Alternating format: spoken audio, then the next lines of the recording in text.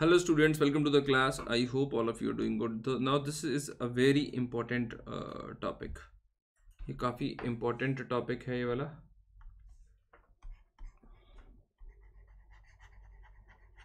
this is a very important topic and the name of the topic is ecological elements in bernard's thought कि Bernard के thought में ecological elements हैं कि नहीं है काफ़ी इम्पोर्टेंट ये वाला क्वेश्चन है सवाल है। जनरली हमें लगता है कि जो चेस्टर बर्नार्ड हैं वो बेसिकली कौन से थिंकर हैं? जनरली हमें इस तरह का लगता है कि वो एक बिहेवियरल थिंकर हैं चेस्टर बर्नार्ड कि उन्होंने बिहेवियरल एलिमेंट के ऊपर फोकस करा है। जैसे कंट्रीब्यूशन सेटिस्फेक्शन इक्विलिब्रियम है जोन ऑफ़ इंडिफरेंस है एक्सेप्टेंस थ्योरी ऑफ़ अथॉरिटी है। वो तो चीज़ें हैं ही हैं उनकी थ्योरी में।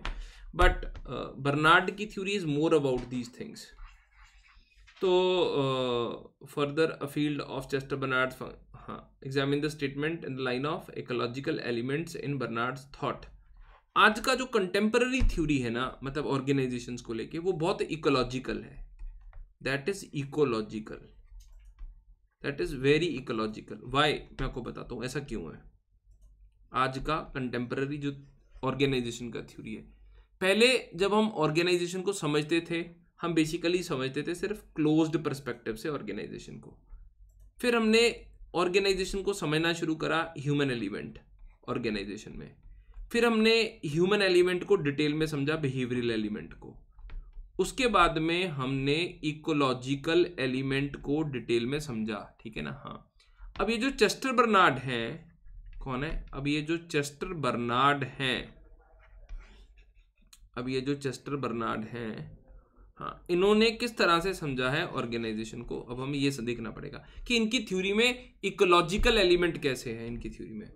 How his theory is full of ecological elements देखिए, ये क्या कहते हैं? इन्होंने कंट्रीब्यूशन सेटिस्फेक्शन इक्विलिब्रियम दिया है बर्नार्ड ने। What is contribution satisfaction equilibrium contribution satisfaction equilibrium क्या है? जिस तरह से एक एम्प्लॉय है, एक ऑर्गेनाइजेशन में कॉन्ट्रीब्यूट करता है। बट वो तब तक कॉन्ट्रीब्यूट करेगा जब तक उसको सेटिस्फेक्शन मिलेगा। अगर सेटिस्फेक्शन नहीं मिल रहा है तो he will want some kind of inducements Chester Bernard कहते हैं कि इंड्यूसमेंट्स कितनी तरह की है? दो तरह की जनरल एंड स्पेसिफिक है। अब आप देखिए चेस्टर बर्नार्ड की थ्योरी में सबसे महत्वपूर्ण चीज़ क्या है? That is contribution satisfaction equilibrium अब ये इक्विलिब्रियम शब्द कहाँ पे यूज़ होता है? बेसिकली सिस्टम्स अप्रोच में ये शब्द बहुत यूज़ होता है। ठीक है ना? इक्विलिब्रियम अप्रोच सिस्टम्स अप्रोच ठीक है? तो आप ये कह सकते हैं कि चेस्टर बर्नार्ड की थ्योरी में कौन सा एलिमेंट है? चेस्टर बर्नार्ड की थ्योरी में इकोलॉजिकल एलिमेंट है। और यही एलिमेंट है जो कंटेम्प्ररी ऑर्गेनाइजेशन थ्योरी में आजकल यूज़ होता है। एग्ज़ाम्पल आप बता सकते हैं, जैसे स्टेसी एडम्स का थ्योरी है। स्टेसी एडम की थ्योरी है equity theory every employee will compare the inputs and the outputs खुद का इनपुट एंड आउटपुट दूसरे का इनपुट एंड आउटपुट को कंपैरिजन करता है वो। ठीक है ना? फिर उसके बाद में आ, हाँ पॉटर एंड लॉलर का है अबिलिटी एंड परफॉर्मेंस वाला है।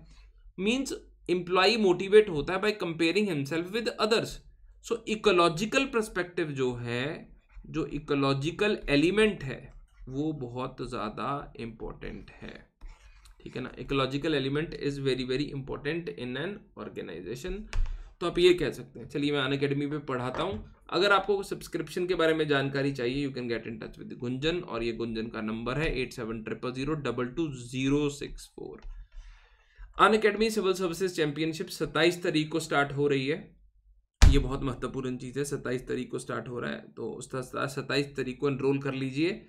इसमें आप बहुत सारे अवार्ड जीत सकते हैं इसमें मतलब स्कॉलरशिप टाइप ठीक है। अगर आपको अन अकेडमी का टेस्ट वाला सब्सक्रिप्शन लेना है तो this is the cost three one four nine है छः महीने का सब्सक्रिप्शन का कॉस्ट और बारह महीने का कॉस्ट है फोर फोर ज़ीरो नाइन, ठीक है ना? अन अकेडमी के आप यूपीएससी के सी एस सी बैचेस को भी ज्वाइन कर सकते हैं। तेईस मार्च को ये बैचेस बेसिकली ज्वाइन हो रहे, चल रहे हैं।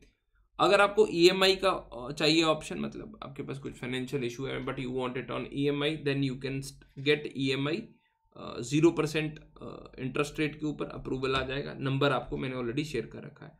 प्लस आप लाइस लास्ट माइल प्रोग्राम में भी आप आ सकते हैं, अगर आपका इस बार मेंस क्रैक हो रखा है। I will be taking interviews in Delhi तो प्लस आप अन अकेडमी स्टोर विज़िट कर सकते हैं दिल्ली में, ठीक है ना? देखने के लिए लाइब्रेरी ज्वाइन कर सकते हैं वहाँ पे। So this is all for the moment चलिए bye take care have a nice nice day